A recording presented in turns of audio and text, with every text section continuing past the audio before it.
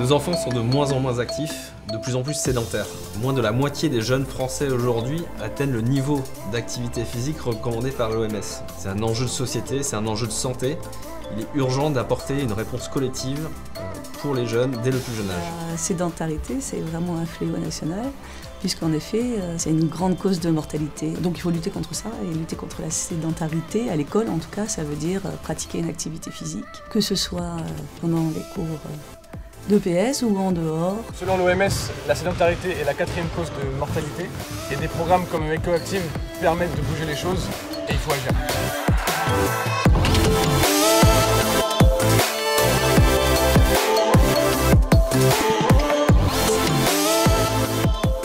Le kit école active euh, apprend aux enfants à, avoir une alimentation saine et équilibrée, à bien bouger, à bien dormir pour euh, qu'ils soient euh, dans de bonnes conditions pour travailler à l'école, mais aussi pour bien vivre ensemble avec leurs amis.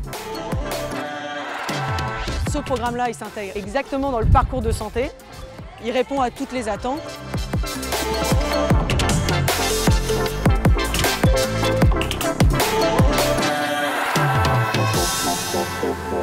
s'est rendu compte en mettant en place les séances qu'effectivement c'était pas quelque chose qui était dans leurs mœurs.